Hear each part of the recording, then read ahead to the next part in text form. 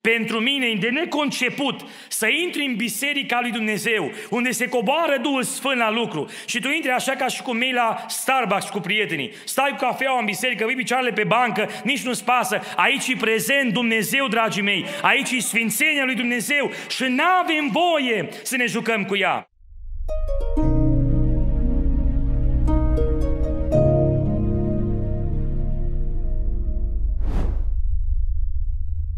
Preamărit să fie numele Domnului. Dragii mei, cum vă spuneam azi dimineață, în această seară, cu ajutorul Domnului, am vrea să vorbim despre creștinul între legalism și liberalism. Este un topic care cred că este pertinent oricând în viața bisericii, pentru că avem tendința de obicei să gravităm către o extremă sau către cealaltă. Trăim într-o lume foarte polarizată, în care ne plac foarte mult extremele. De bună oară, este politică de dreapta sau de stânga. Așa discutăm noi în termenii noștri moderni. Nu pot vorbi despre o politică centrală, pentru că tot să ne ba de dreapta, ba de stânga. Similar, canalele de știri atunci sunt de dreapta sau de stânga, sau conservatoare sau liberale. Și în sensul acesta sunt canale statale care dețin practic monopolul, sau mai bine spus, sunt monopolizate de guvern pentru a duce ori într-o extremă, ori într-altă. Partidele politice sunt de asemenea centrate tot pe aceste extreme. Ori sunt extremele conservatoare, ori extremele liberale. Și partidele din mijloc sunt așa un fel de second-hand celelalte partide. De fapt, cam așa lucrează întotdeauna. Ai partidul principal conservator, partidul, partidul principal liberal și ceea ce este pe lângă este așa o nuanță care se dă pe lângă noi să credem că avem și noi drept de vot. Ei, dragii mei, pe lângă toate acestea, acestea sunt modalități în care noi gravităm în polarizarea care se face.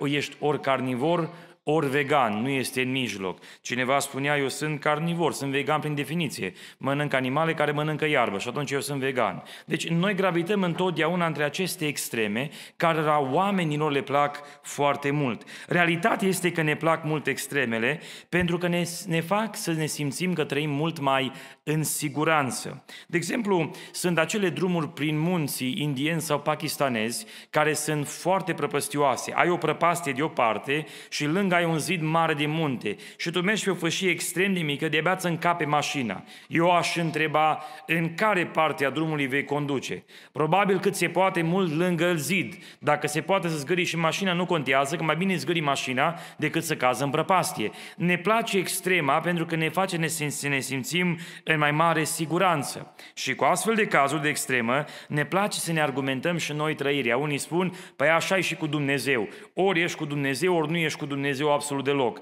De exemplu, cineva spunea, nu scrie și în Apocalipsa, dacă ai fi fost în clocot sau în rece, era bine, dar ești căldicel și atunci te văd singura mea. Dacă ori ești în clocot numai pentru Dumnezeu, ori ești rece numai cu păcatul și cu diavolul. La mijloc nu există. Măi, dar o viață echilibrată în care slujim pe Dumnezeu și trăim normal în viață, nu se poate. Ori numai, numai și numai Dumnezeu, ori mai bine numai cu păcatul. Ne plac foarte mult extremele. Și Pavel folosește de șase ori în cartea Tit sintagma cumpătare, cumpătați. De șase ori folosește expresia aceasta că este nevoie de cumpătare în viața omului mântuit. Ideea de cumpătat înseamnă o minte sănătoasă, control de sine, trăind cu prudență și corect echilibrată, care este mult mai profund decât ceea ce zicem noi a merge pe mijlocul drumului. Asta înseamnă cumpătare. Un echilibru profund, o minte trează care știe bine să discearnă între ceea ce este bine și ceea ce este rău. Cât privește trăirea creștină, dragii mei, unii ori merg într-o extremă conservatoare care ajunge la un fundamentalism, asta este numită legalism, ori într-o altă extremă lumească în care desfințăm orice standard și dăm la o parte orice principiu scriptural și asta înseamnă liberalism. Ei bine, dorim să găsim tiparul celor două extreme și să înțelegem ce dorește Domnul de la noi, mai ales în trăirea practică creștină. Echilibru, o trăire frumoasă, după rânduiala Domnului. De aceea am intitulat mesajul creștinul între legalism și liberalism. Vreau să observăm acum la început o observație importantă. Discuția vizează mai mult viața practică creștină, decât ceea ce înseamnă tiparul mântuirii noastre. Măcar că înțelegerea asupra mântuirii foarte mult va augmenta și felul în care noi înțelegem această trăire practică. Și atunci va trebui să înțelegem că aici noi vorbim este despre, despre trăirea practică creștină. Cum trăiesc eu ca un copil al lui Dumnezeu și eu mă voi zbate în viața practică, fie între ceea ce înseamnă legalism sau ceea ce înseamnă liberalism. Mă reîntorc la primul verset care l-am citit în această seară eu, adică înțelepciune vom găsi mai devreme, pentru că este strigarea înțelepciunii, Proverbii 8 cu 20, umblu pe calea nevinovăției și auziți, pe mijlocul cărărilor neprihănirii, pe centru, nici într-o extremă, nici într-alta. Un drum are o distanță oarecare, dacă vreți are o lungime oarecare. Și înțelepciunea spune că eu umblu pe mijlocul acestor cărări. Nu mă duc nici la o periferie a drumului, nici la cealaltă, la nicio extremă, ci rămân în mijloc. Ei, cine este de fapt aici înțelepciunea. Vom găsi mai târziu că înțelepciunea aici este asemuită cu această personificare a Domnului Isus Hristos. Și aș vrea aici să fac o remarcă foarte importantă, pentru că am auzit uneori argumentat greșit acest pasaj și n-aș vrea să dăm loc la o erezie, în special aici în adunare și în înțelegerea noastră biblică. Mă întorc la versetul 22 din Proverbe, capitolul 8, vorbind despre înțelepciune. Domnul m-a făcut cea din tâi dintre lucrările Lui, înaintea celor mai vechi lucrări ale Lui. Domnul m-a făcut. Și aici, pentru că noi vorbim despre Domnul Isus Hristos, care este înțelepciunea personificată, unii vor spune, păi, e evident că Domnul l-a făcut pe Domnul Isus. Și aici se invocă o erezie veche, născută de Arius, preotul Arius, undeva în secolul al IV-lea după Hristos. S-a născut arianismul, așa numit o mișcare, care spunea că Domnul Hristos a fost creat de Dumnezeu. El sigur este Dumnezeu, dar a fost creat de Dumnezeu. Și trebuie combătută această această erezie și nu care cumva în mintea noastră să aibă loc în adunare. Deviez un pic de la subiect, dar este important această remarcă. Observați, dragii mei, Domnul m-a făcut cea din tâi dintre lucrările Lui. Din expresia originală folosită în limba ebraică, cuvântul care este aici este cuvântul de a poseda sau a avea ceva la îndemână. Domnul, am putea spune prin traducere literală, m-a avut mai înainte de toate lucrările Lui. Dacă am invocat faptul că Domnul Hristos a fost creat, personificat aici de înțelepciune, vă pun o întrebare. Dacă Dumnezeu a creat înțelepciune la un moment dat, mai înainte să o creeze, avea Dumnezeu înțelepciune sau nu? Ni se pare chicioasă întrebarea, dar e pertinentă, pentru că dacă Dumnezeu a creat înțelepciunea, înseamnă că n-a existat mai devreme. Și adică Dumnezeu cum a făcut înțelepciunea dacă El n-avea înțelepciune? Deci, dragii mei, să fim foarte atenți cu citirea Sfintelor Scripturi. Aici vorbim despre tiparul faptului că Dumnezeu avea înțelepciunea din eternitate, personificată prin Domnul Hristos. Domnul Hristos este Dumnezeu și de la început, din eternitate până în eternitate, rămâne Dumnezeu. Mărit să fie numele. El n-are început și este important să înțelegem aceasta pentru că uneori, în special în discuțiile cu martorii Jehova, este exact această problemă.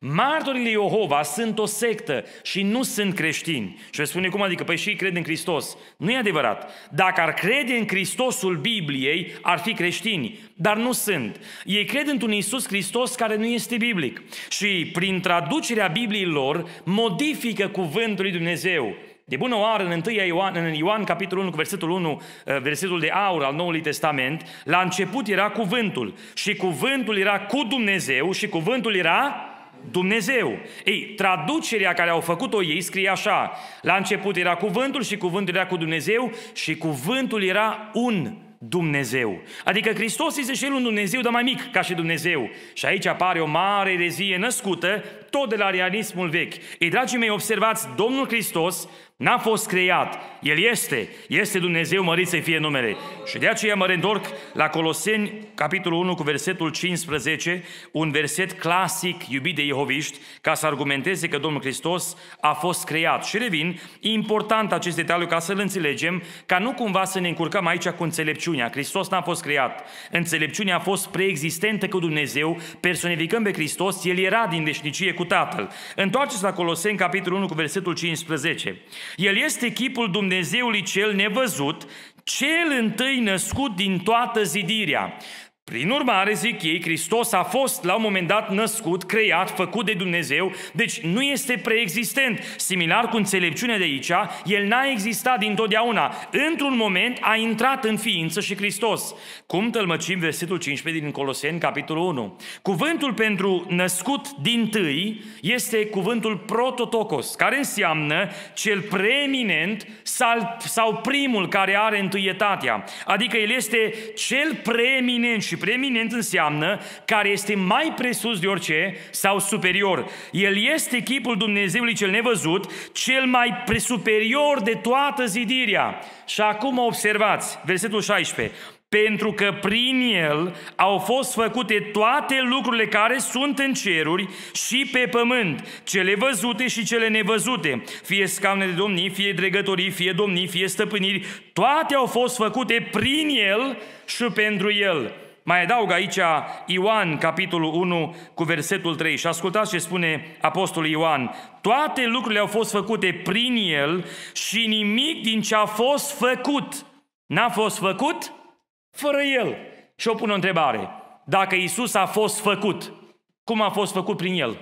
Că toate sunt prin el. S-a făcut prin sine? Cum adică? Deci este o problemă de hermeneutică, de interpretare și înțelegere. Dragii mei, Domnul Isus Hristos este Dumnezeu parte din Trinitate. Dumnezeu se prezintă ca unul întreit în persoane. Dumnezeu Tatăl, Fiul și Duhul Sfânt. Și Domnul Isus Hristos este preexistent, coetern, coegal cu Tatăl, din eternitate până eternitate rămâne Dumnezeu. Când ne spune Scriptura că Domnul m-a făcut cea din tâi dintre lucrările Lui, este înțelegerea din original mai simplă.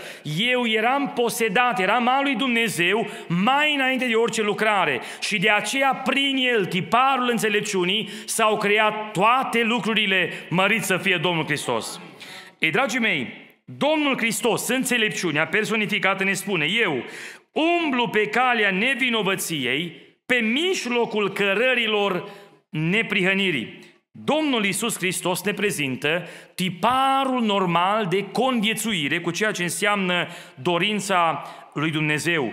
Când ne exprimăm că înțelepciunea umblă pe mijlocul cărărilor neprihănirii, asta înseamnă că a Domnului cale este una de echilibru în sfințenie, dar nu în extremism. Și va trebui să înțelegem aceasta. La prima vedere, ni se pare ciudat ceea ce ni se spune în Eclesiastul în capitolul 7. Mă opresc asupra versetului 16 și 17. Nu fi prea neprihănit și nu te arăta prea înțelept pentru ce să te pierzi singur? O primă întrebare. N-ar fi normal să fim cât se poate de neprihăniți? Ba încă spune în Apocalipsa, în capitolul 22, cine-i sfânt? Să se sfințească mai departe. Adică tot mai sfânt și mai mare cu Domnul. Doamne ajută să fim tot mai sfinți, mai curați, mai pocăiți. Deci ar trebui să fim cât se poate neprihăniți. Că nimeni n-a murit deodată, de, vreodată de prea multă pocăință. Și atunci, cum adică nu fi prea neprihănit, și nu te arăta prea înțelept, pentru ce să te pierzi singur? Conversul spune, dar nici nu fi peste măsură de rău și nu fi fără minte. Pentru ce vrei să mori înainte de vreme? Ce spun aceste două versete? În primul rând, dragii mei, când vorbește aici despre neprihănire, nu se referă la aceea neprihănire dată de Dumnezeu prin credință, care duce la o statură plăcută în ochii lui Dumnezeu. ci neprihănirea din versetul 16 de aici este o neprihănire proprie, o stare personală prin care eu încerc prin înțelepciunea mea să mă arăt plăcut lui Dumnezeu. Precum ne spune în versetul 17, ca nu cumva să trăim în calea afară de răi, mergând în păcate și în păcate, că oricum nu contează, că în final vei muri înainte de vreme. De ce acestea două? Pentru pentru că versetul 20 ne întâlcuiește, fiindcă pe pământ nu este niciun om fără prihană care să facă binele, fără să păcătuiască. Dragii mei, prin natura noastră umană în care noi suntem și am fost creați și prin căderea făcută la momentul după creație, noi nu putem atinge perfecțiunea în ochii lui Dumnezeu. Oricât am încercat noi, natura noastră umană este diametral opusă sfințeniei Domnului. De aceea, în lege, veți găsi o serie întreagă de ritualuri, de curățare, ceremoniale, care erau necesare să arate omului cât de nesfânt este el în fața Domnului. Orice ar face omul, orice ritual, câte ar face la oaltă, el nu poate atinge cota sfințeniei care o vrea Dumnezeu. Sfânt este unul singur Dumnezeu.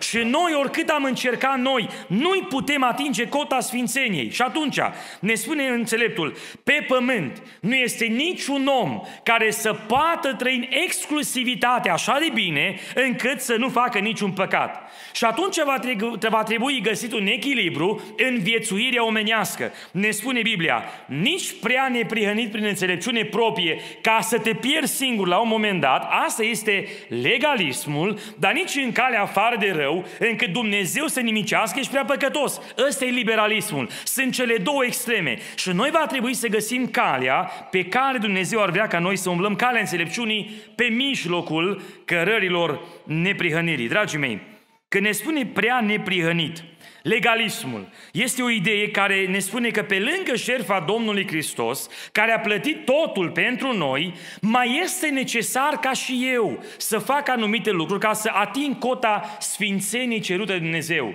E adevărat că Isus a murit pentru mine, e adevărat că El m-a sfințit, e adevărat că m-a curățat, dar și eu va trebui să fac fel de fel de fapte ca să trăiesc la înălțimea curățării, să mă curăț și eu într-un mod în care să fiu acceptabil lui Dumnezeu. Și dacă nu mă curăț și eu, nu pot eu să văd împărăția lui Dumnezeu. Adică dacă nu adaug și eu la jertfa lui Hristos, nu e îndeajuns. Și asta ar însemna că jertfa lui Hristos nu este îndeajuns de suficientă ca să mă mântuiască pe minte. Vom merge în încheiere și vom explica totuși cum se împacă trăirea în sfințire cu jertfa Domnului Hristos și vom vedea cât de frumos cele două lucrează, se, se arată împreună. Ei, dragii mei, legalismul spune că pe lângă jertfa lui Hristos, eu mai am nevoie de anumite ritualuri, fapte, ca să devin plăcut lui Dumnezeu. Aici aș invoca Galaten, capitolul 3, cu versetul 10. Spune Apostolul Pavel, că toți cei ce se bizie pe faptele legii sunt sub blestem,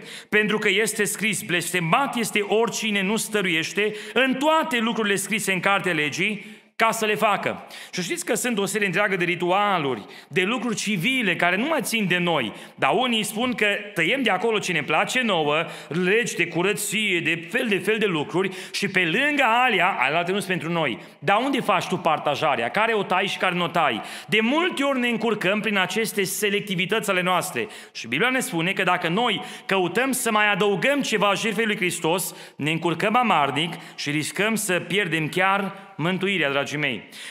Comerțul este că liberalismul face altceva. El ia șerfa lui Hristos și spune, slavă Domnului comori pentru noi. Și acum noi putem să facem orice vrem. Nu mai contează, liberi, suntem de dezlegați de orice fel de ritual, de orice fel de standard. Noi suntem a Domnului și orice am face noi, noi nu mai putem să ajungem la a ne pierde mântuirea. Ei, dragii mei, observați că aici se schimbă tiparul și duce înspre ceea ce noi numim permisivitate. De fapt, haideți să ne întoarcem înapoi la Evrei, capitolul 12, cu versetul 16. Și observați ce ne spune aici apostolul care scrie carte către evrei, explicându-ne tiparul de viață unui om pe nume Esau. Vegheați să nu fie între voi nimeni curvar sau lumesc ca Esau, care pentru o mâncare și-a vândut dreptul de întâi născut. Ei, dragii mei, am explicat de multe ori cuvântul acesta, mă mai repet și în această seară. Lumesc înseamnă, după limba originală greacă, a călca peste prag. Noi, ca și părinți, punem anumite limite copiilor noștri. Nu-i voie să te joci în stradă. De ce? Păi mor dacă te joci în stradă. Nu-i voie. Și el atunci va încerca să vadă cât de mult pot să mă apropii eu de stradă până mama îmi dă bătaie. Cât de mult. Și faci un pas și mama spune, băi, nu lângă stradă. Bine, bine. Mai faci un pas mai departe. Nu lângă stradă. Bine, bine, mamă. Mai faci un pas încă o dată. Măi, nu lângă stradă. Și tot făcând așa câte un pas, câte un pas, câte un pas, călcând peste limită, într-o zi ajunge în stradă. Asta înseamnă permisivitate, a călca peste limita lui Dumnezeu. Liberalismul ne dă nouă voie să călcăm peste limită, spunând că oricum jertfa lui Hristos a plătit îndeajuns, încât și dacă eu greșesc, Dumnezeu în har o acoperit toate păcatele mele. Și e adevărat că a plătit, dar nu putem să călcăm în picioare jertfa Domnului Hristos. Asta ne face pasibili de judecata lui Dumnezeu. Deci observați că amândouă extreme sunt extrem de păguboase. Și atunci, dacă așa stă treaba, ce înseamnă să mergi pe mijlocul cărării.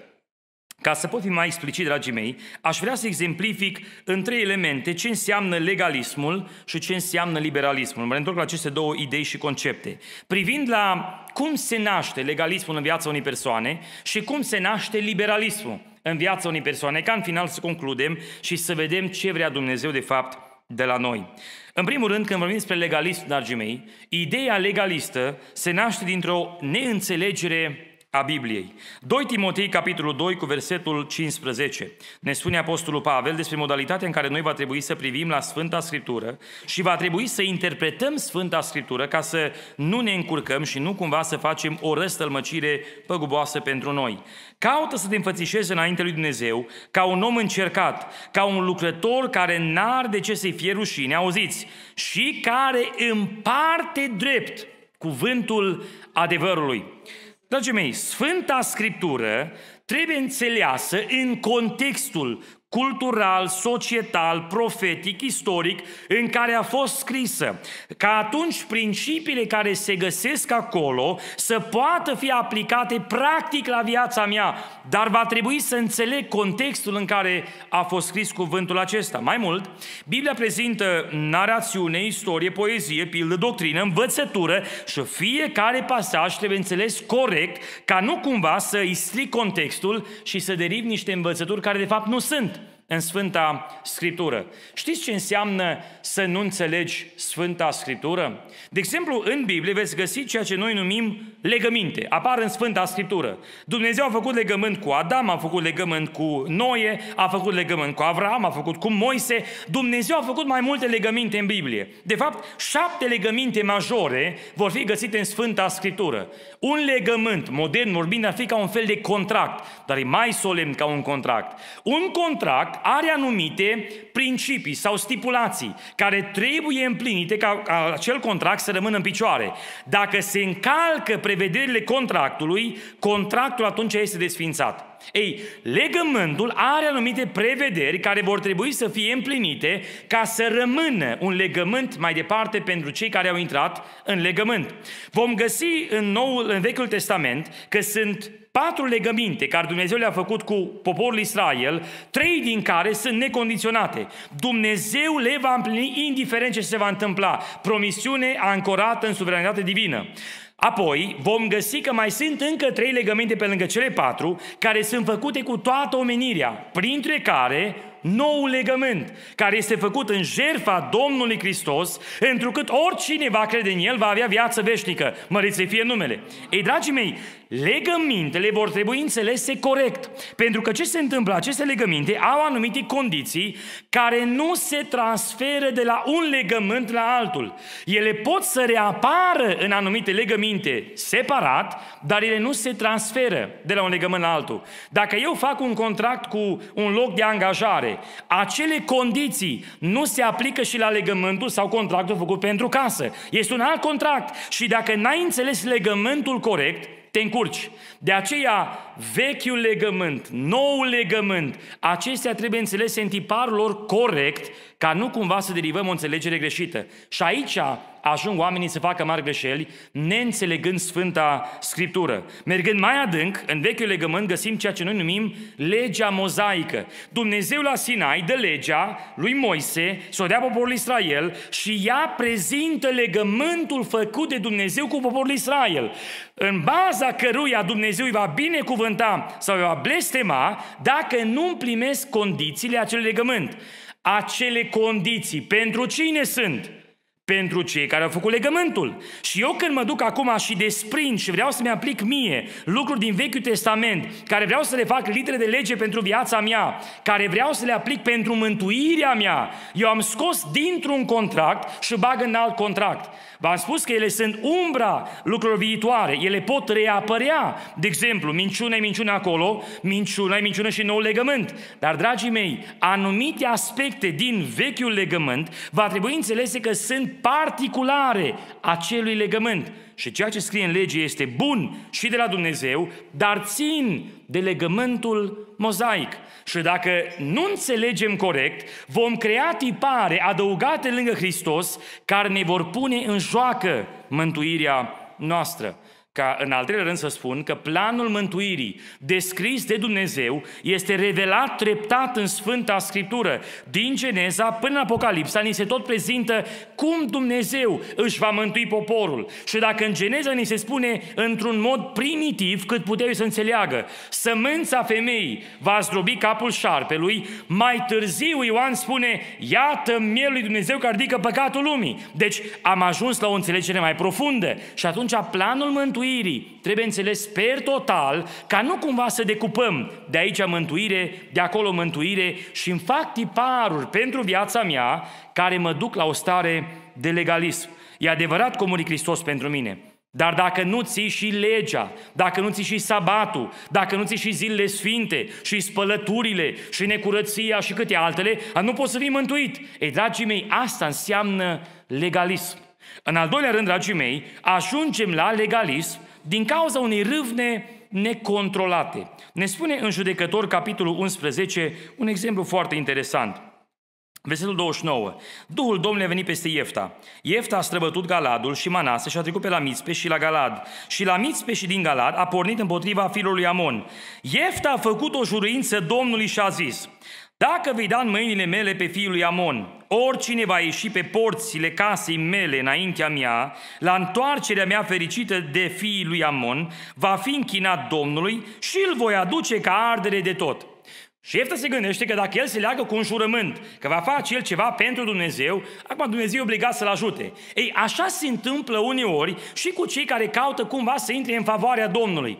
Dragii mei, noi am intrat în favoarea Domnului că Isus Hristos a murit pentru noi. Că de nu murea Isus Hristos, puteam să stăm noi în cap până venea Domnul, că tot noi eram plăcuți Lui. Noi suntem plăcuți Lui prin șerfa lui Isus Hristos. Măriți să fie numele. Afară de El, nimeni n-are intrare la Tatăl. Eu sunt calea, adevărul și viața. Ziceți mai departe.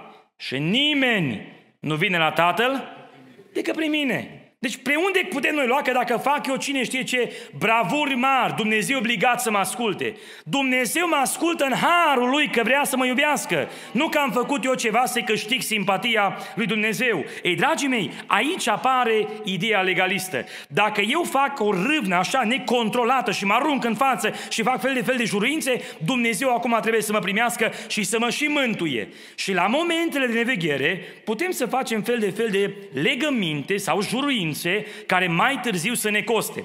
Dacă mă scapă Domnul, eu promit și jur cât trăiesc eu că nu mai mănânc ciocolată, că nu mai beau cafea, că nu mai fac nu știu care. Și omul se leagă cu fel de fel de juruințe. Ca mai apoi, când vine, zicem noi, ispita, Vine poftă naturală, să mănânce ciocolată. Acum se vede vinovat. Vai, Doamne, am păcătuit, merg în iad, nu mai am mântuire. Păi cine te-a pus să te legi? Păi da, da, Domnul m-a dat biruință, trebuia să mă leg. Ei, dragii mei, observați că noi prin niște râvne necontrolate riscăm să ne băgăm în probleme legaliste.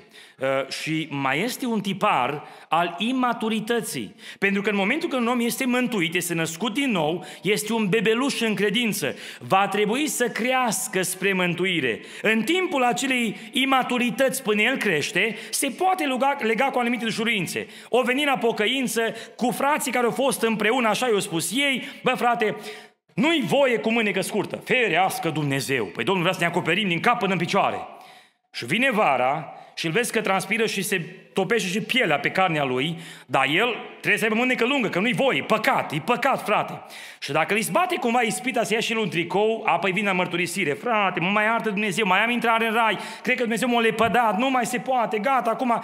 Deci observați că noi ne putem face anumite, astea de fapt sunt încredințări, dar vedem mai târziu cum se aplică ele, anumite legi personale care le punem pe lângă șerfa lui Hristos. Dar pentru toți muri Hristos.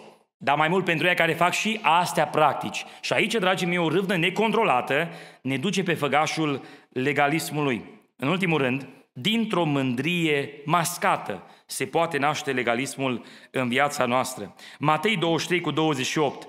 Tot așa și voi, pe din afară vă arătați neprihăniți oamenilor, dar pe dinăuntru sunteți plini de fățărnicie și fără de lege. De fapt, dacă vreți, uh, emblema, logo-ul legalismului farisei. Ăștia au fost legaliști până măduva oaselor. Pentru ei, cu scrupulozitate, țineau toate rânduielile Dar pe dinăuntru să te ferească Dumnezeu să văzut ce era acolo. Aici este problema legalistului. Vrea să pozeze frumos pe din afară și are o mândrie mascată. În mândria aceea, el se expune într-un mod așa de pios că nimeni nu-i ajunge la el. Și de aici, dragii mei, se întâmplă multe greșeli. De-a lungul istoriei, fel de fel de tiparuri. Unii au spus că nu-i destul să porți capul acoperit. Trebuie legat în față cu trei noduri. Și dacă nu-i trei noduri, nu-i destul. Alții vor spune că trebuie purtată numai o culoare anume. Alții că trebuie purtat numai hainele cu tare. Alții haine sălăcăcioase, nu cum să te mândrești. Fel de fel de tipare care au un singur scop. Vezi ce pocăit eu? Băi, ca mine pocăit nu-i nimeni în biserica asta. De nu eram eu aici, păi trăznea Dumnezeu clădirea de multă vreme. Numai eu l opresc pe Dumnezeu să nu ne bată. Ei, asta este o mândrie mascată prin legalismul meu. De aceea spunea bine Ibrăileanu, sunt smerit, dar vreau să știe. Îmi place să fiu smerit, dar să vadă toți că smerit și merge așa încetuc. Cum ești, frate? Slavă Domnului, ești bine. Mă, dar unde e bucuria mântuirii? Eu mă bucur în Domnul, așa, pe dinăuntru, pe din afară nu mă arăt. Este o stare în care în inima mea vreau să pozez că așa de supra-sfânt, că nici îngerii nu se apropie de mine. Ei, dragii mei, asta duce la legalism. Și legalismul prezintă două pericole extraordinare. În primul rând, te expune la unor, unor atacuri extraordinar din partea celui rău. Observați ce ne spune în Geneza, în capitolul 3, în uh, versetul 3. Dar despre pomul din mijlocul grădinii, vorbește femeia acum. Dumnezeu a zis să nu mâncați din el și să nu vă atingeți de el ca să nu muriți. Lăsați versetul pe ecran, vă rog. Spuneți-mi, din versetul acesta, asta a spus Dumnezeu exact sau nu? Să nu mâncați din el și să nu vă atingeți de el ca să nu muriți. Asta spune Dumnezeu? Mai devreme, ne spune versetul 16 din capitolul 2. Domnul Dumnezeu a dat omului porunca aceasta. Poți să mănânci după plăcere din orice pom din grădină, dar din pomul cunoștinței binelui și răului să nu mănânci, căci în ziua în care vei mânca din el, vei muri negreșit. Ce adaugă Eva acolo? Să nu vă atingeți de el. O spus Dumnezeu asta? Nu. Dar ea a spus, nu-i destul ce a zis Dumnezeu. Să nu mănânci aia, oricine poate să nu facă. Nici măcar să nu-l atingi. Nici să-l miroși, nici să-l vezi, ferească Dumnezeu. Și atunci noi suntem mai sfinți ca Dumnezeu. Ei te expune la un pericol profund, că diavolul, e mai șmecher ca tine, știe el cum se întoarcă lucrurile și când tu adaugi legi care Dumnezeu nu le-a pus, te încurci tu însă și în legile tale. Deci este un pericol mare pentru atac. Dar al doilea pericol și cel mai periculos e că spune în joc mântuirea. Mă întorc tot la Galateni, la capitolul 5. Observați ce cuvinte dure are Apostolul Pavel, versetul 1. Rămâneți dar tari și nu vă plecați iară sub jugul robiei. Iată, eu, Pavel, vă spun că dacă vă veți tăia împrejur, Hristos nu vă va folosi la nimic. Și mărturisesc iarăși încă o dată oricărui om care primește tăierea împrejur că este dator să împlinească toată legea. Voi care voiți să fiți socotiți neprihăniți prin lege, v-ați despărțit de Hristos, auziți, a scăzut din har.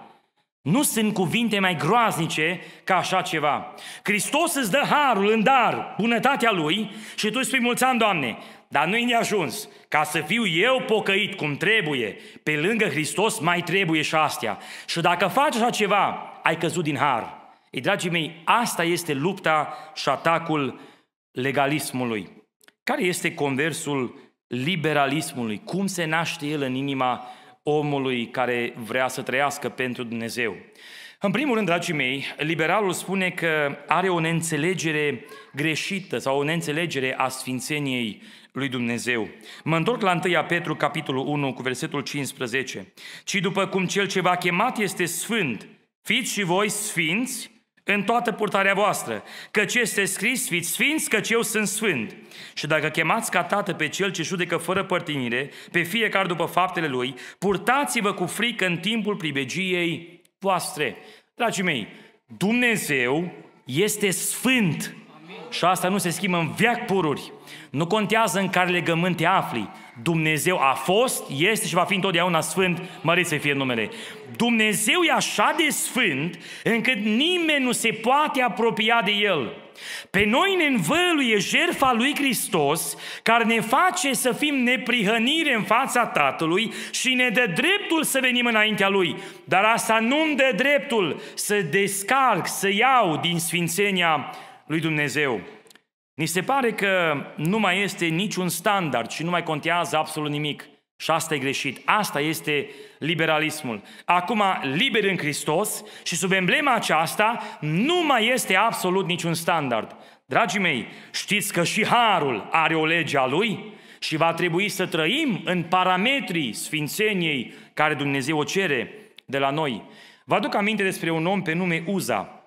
La un moment dat au luat chivotul și David împreună cu oamenii săi îl duceau înspre cetatea lui cu dorință să-l pună în casa lui.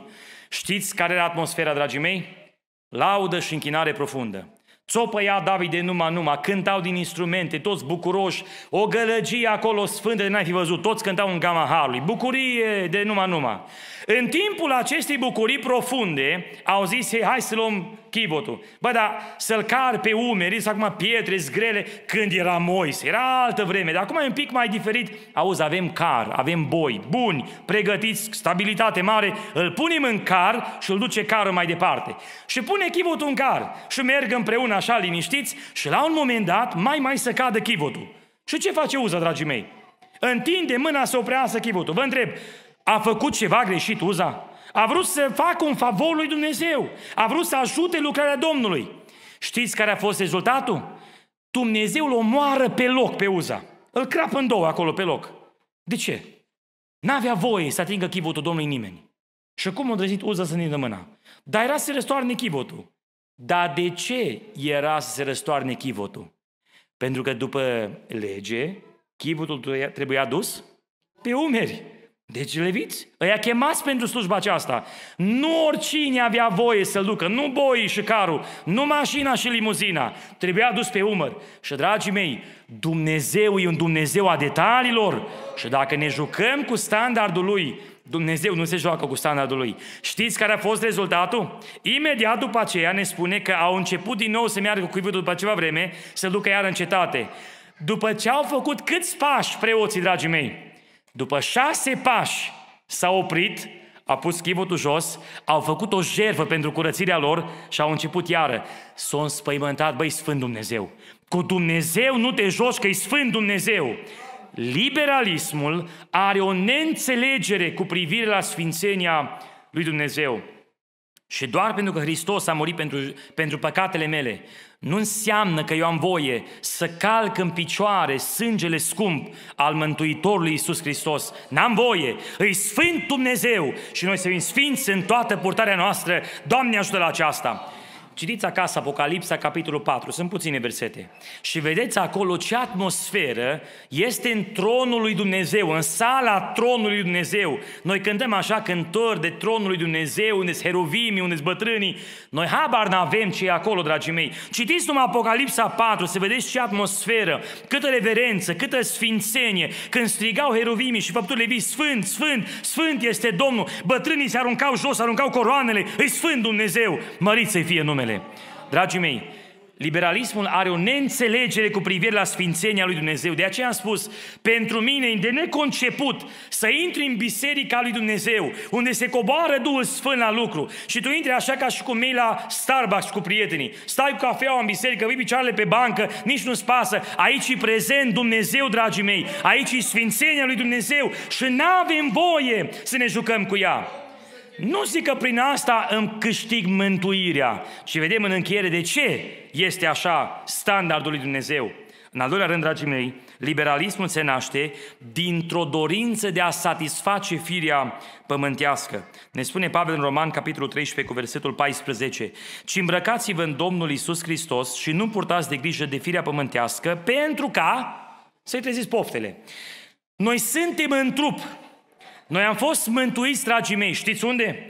Sufletul și Duhul nostru acum sunt înnoite, născute din nou, sunt sfințite de Domnul. Dar trupul nostru încă n-a fost răscumpărat. Noi încă așteptăm răscumpărarea Fiului Dumnezeu, adică a trupului acesteia la momentul glorificării.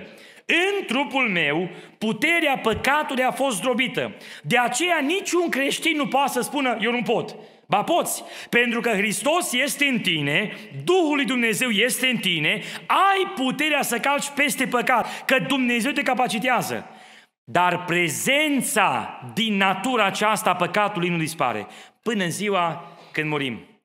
la o conferință de tineri, erau întâlniți mai mulți și au spus tema Lupta împotriva firii pământești.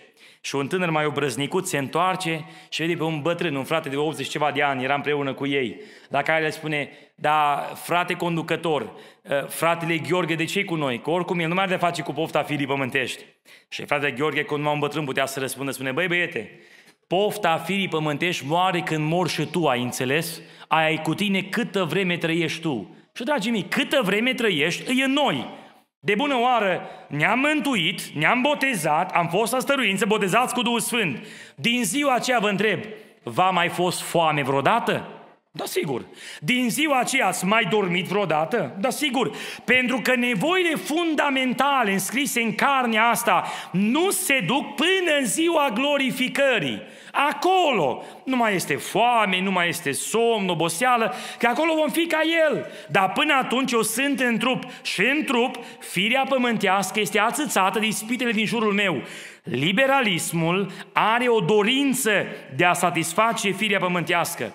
Și prin urmare îi în stare să desfințeze legea Domnului, să calce peste limită pentru a împlini pofta firii pământești. Și asta este un păcat, dragii mei.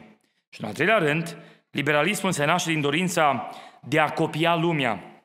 Roman, capitolul 12, cu versetul 2. Să nu vă potriviți chipului viacului acestuia, ci să vă prefaceți prin înnoirea minții voastre, ca să puteți deosebi bine voia lui Dumnezeu cea bună, plăcută și desăvârșită. Când noi vrem să copiem lumea, intrăm în domeniul liberalismului. Este ca un grup de copii care plecând de acasă le spun părinții, n-aveți voie cu tare. Și mergând acolo, se uită copii care se joacă și invită, hai și voi cu noi. Dar noi nu avem voie. Dar hai și voi cu noi. Și ca nu cumva să râdă alții de ei, intră și ei în jocul celorlalți copii care părinții le-au spus că n-au voie. Când vrem să copiem lumea, noi dovedim că avem o problemă de perspectivă eternă. Pentru că, dragii mei, noi nu trăim pentru aici și acum, noi trăim pentru acolo, pentru Dumnezeu. Și chiar dacă în viața aceasta râd oamenii de noi, ne bat jocoresc, n-avem, pierdem, nu avem nimica, în final se întoarce tata și când vom fi împreună cu el, acolo va fi bine, mărit să fie numele. Până atunci, eu sunt gata să plătesc orice preț. Chiar dacă oamenii râd de mine, chiar dacă s-a alungat, chiar dacă s-a dat afară din societate, eu sunt al lui Isus Hristos. Și nu mi încalc principiul. Când eu vreau să copii lumea ca să fiu și eu ca lumea, mă duc și eu la fitness ca lumea, mă duc încoace încolo ca lumea, caut să fac fel de fel de lucruri ca și lumea, ajung să copiez lumea, pierd perspectiva viitorului. Dar frate, dai păcat în așa ceva, dai rău așa ceva, dar care e problema? Observați, este o problemă de a călca în fiecare zi un pic peste limită, a deveni lumesc, a călca peste limită. Până într-o zi, când nu mai știi de fapt unde e limita. Aici este problema noastră. Și atunci, dragii mei, în concluzie, Domnul Hristos spunea astfel, veniți la mine, toți cei trudiți și împovărați, și eu vă voi da odihnă. Erau așa de încorsetați oamenii cu o serie întreagă de legi, de reguli, de poveri, de legi omenești, de rânduieli, încât devenise o corvoadă, o povară să slujești pe Dumnezeu. Ei mergeau la templu de silă, că nu scumva să ia bătaie, dar era atât de greu viața, obosiți.